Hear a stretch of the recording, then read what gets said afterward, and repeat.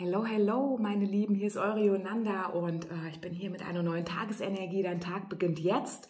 Die Uhrzeit spielt überhaupt gar keine Rolle. Ähm, das ist so ein Energieimpuls so für die nächsten 24 Stunden. Es kann sein, dass du da schon mittendrin steckst. Es kann sein, dass diese Energie auf dich zukommt oder du sagst, das war gestern. Zeit ist relativ, die fließt miteinander, nicht nacheinander und ich begrüße alle, die gerne äh, wieder mitfließen möchten. Bedanke mich auch bei allen neuen Abonnenten für, fürs Abo. Damit macht ihr mir eine Riesenfreude. Das ist äh, für mich eine sehr große Wertschätzung, ähm, weil dann bin ich sehr wert, dass man mir ein Abo dalässt und ähm, begrüße natürlich auch alle alten Hasen und ja, wer gerne neu dazukommen möchte, mit dabei sein möchte, hier ist wirklich jeder herzlich willkommen. Ja, und schon starten wir in die Karten. Wir beginnen heute mit den Lenny-Karten bei Ciro Marchetti und schauen mal, ins äh, Irdische. Welche Energie wird uns da heute durchgegeben? Wir legen ja immer so von, äh, von unten nach oben, ne, so vom Weltlichen und dann schauen wir, was stehen da für Kräfte drüber. Ups, Jesus wurde Anna.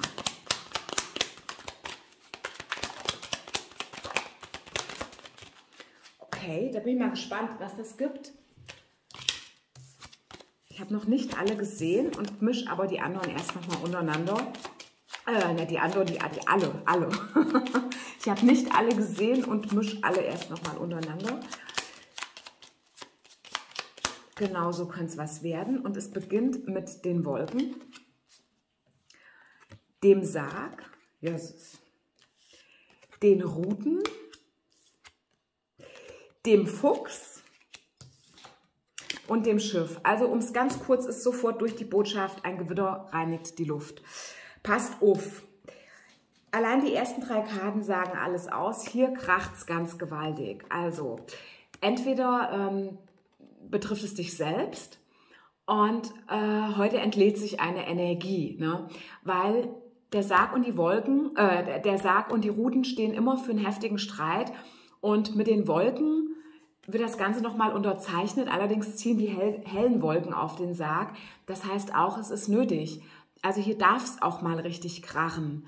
Es ist gut, wenn sich hier die Energie mal entlädt, weil damit wird vielleicht auch eine Wahrheit ausgesprochen. Die äh, Schwanzspitze von Foxy zeigt nämlich auf die Routen. Und das ist ganz, ganz wichtig. Ne? Also vielleicht hat sich hier was angestaut und äh, man hat inzwischen schon einen mega Hals. Und dann kommt heute so der äh, berühmte Funke, der ein Fässchen zum Überlaufen bringt. Und dann entlädt sich das, es bricht alles aus einem raus. Und dann ist es aber auch draußen. Und dann kann es wieder in ruhigeren Wässern mit dem Schiff weitergehen. Also hier kann wirklich, also das kann ganz einfach ein Wutausbruch sein. Ähm, vielleicht auch einfach, dass sich in dir eine Energie anstaut. Du bist heute ganz einfach... Äh, auf Krawall gebürstet. Ne? Das kann natürlich auch jemanden betreffen. Vielleicht sagst du auch, ich bin das gar nicht, das ist mein Gegenüber oder so. Ne?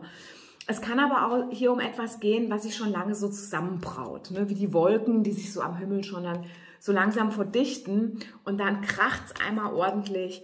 Man sagt aber wirklich, was man denkt in dem Moment und dann äh, kann man wieder da äh, mit einem Cooldown aus dem Tag herausschippern. Ne? Also das ist eine ziemlich ähm, kloßglockenklare Botschaft. Wir schauen jetzt mit dem Traumerbe-Tarot weiter, auch von Shiro Marchetti. Und ihr findet, ähm, ich sage es halt immer mit dazu, weil sich so gehört, all meine verwendeten Kartendecks inklusive Link in der Infobox, also Link auf die Seite und alle Karten sind im Handel natürlich erhältlich. So, also hier kracht's, das haben wir jetzt schon mal mitgekriegt. Und äh, welche Energie steht da drüber? Mhm. Aha. Mhm. So, da haben wir das Rad des Schicksals, dann haben wir den Hierophanten und die Neun der Münzen. Die haben wir in letzter Zeit auch oft. Also mit dem, mit dem Rad des Schicksals ist es jetzt ganz einfach an der Zeit. Ne? Also ähm, etwas folgt einer Bestimmung. Man könnte auch sagen, dass das irgendwann mal aus dir oder vielleicht auch aus jemandem, ne, dass du sagst, ich schaue die Legung und äh, ich stelle fest, das ist bei Person XY so, dass sich das irgendwann entlädt, das war klar mit dem Rat des Schicksals. Die Mühlen haben gemahlen. Ne? Die Mühlen haben schon die ganze Zeit gemahlen. Und es gilt aber jetzt mit dem Hierophanten, der hier als Glaube dargestellt ist, ähm, das Ganze wirklich vertrauensvoll zu betrachten. Dass man wirklich weiß, das sollte jetzt so sein, das hat seine Bestimmung und das war wichtig. Der Fuchs sagt ja auch, ne, hier wird die Wahrheit gesprochen, auch wenn die vielleicht unangenehm ist oder hart, es ist aber die Wahrheit. Ne? Und mit dem Hierophanten äh, kann man äh, hier wirklich darauf vertrauen, dass Gott am Ruder sitzt und dass diese Situation oder dieses Entladen auch herbeigeführt wurde, weil ganz einfach jetzt die Zeit gekommen ist und mit der Neun der Münzen war der Augenblick günstig. Ne, die, die Neun der Münzen steht ja für einen günstigen Augenblick und ähm, als ob ähm, hier etwas spontan passiert, wo die da oben sagen, jetzt, ne, feuerfrei, jetzt ist der richtige Zeitpunkt, dass das jetzt hier mal rauskommt, rausbricht, rausgelassen wird, wie auch immer, jetzt. Ne? Das ist so ein Go. Ne? Der, die Zeit ist günstig. Der günstige Moment von denen da oben wurde ganz einfach äh, herbeigeführt oder genutzt. Ja, ja vielleicht wird er auch herbeigeführt. Ne? Aber ähm, hier soll etwas so sein. Jetzt schauen wir noch mal mit den Engeln und Ahnen, was da in höchster Instanz drüber liegt. Das ist heute auch so kurz und knackig. Wir sind erst bei sechs Minuten. Jesus, nee. Also so schnell war ich ja noch nie, muss ich ja schon fast sagen. Naja, noch sind wir nicht fertig. Moment, ich brauche hier mehr Platz. Ach Gott. So, die Engel und Ahnen bei Kyle Gray. Das ist jetzt die höchste Instanz, die drüber steht.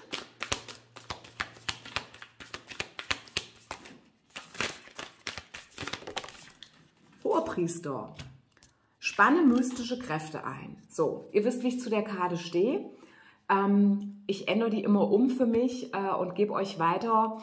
Bitte himmlische Kräfte um Hilfe. Ne?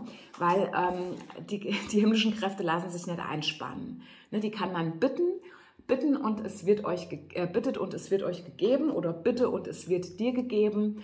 Und ähm, es geht hier auch um die Intuition und um eine ganz klare Ausrichtung. Ne? Also ähm, die Energie folgt der Absicht, würde ich mal sagen.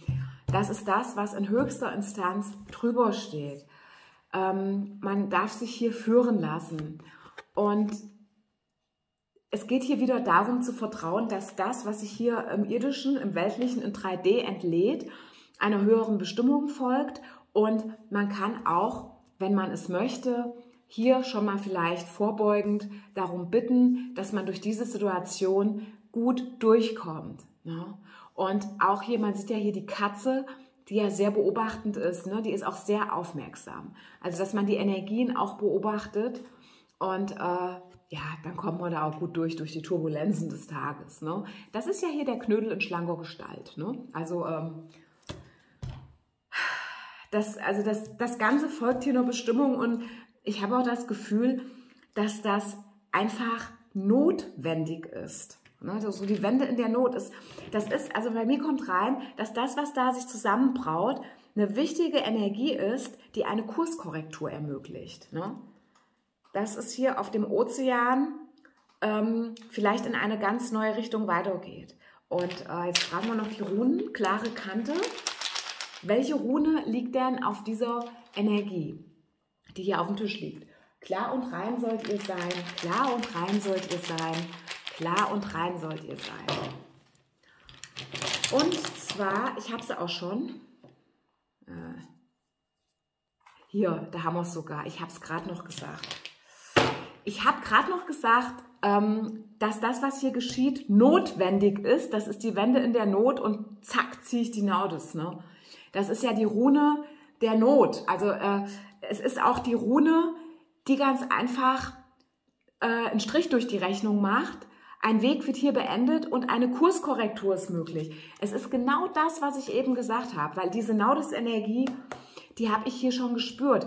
Das ist hier auch ein wichtiger Stopp. Ne? Vielleicht ist es auch so, dass eine andere Person dir schon sehr lange zu nahe tritt und ähm, bewegt sich schon länger auf dünnem Eis. Und heute entlädt sich das Ganze und du kannst hier auch ganz klar eine Grenze setzen bis hierher und nicht weiter und schickst eine Energie zurück in ihren Tanzbereich. Ne? Das ist wie bei Dirty Dancing. Das ist mein Tanzbereich, das ist dein Tanzbereich.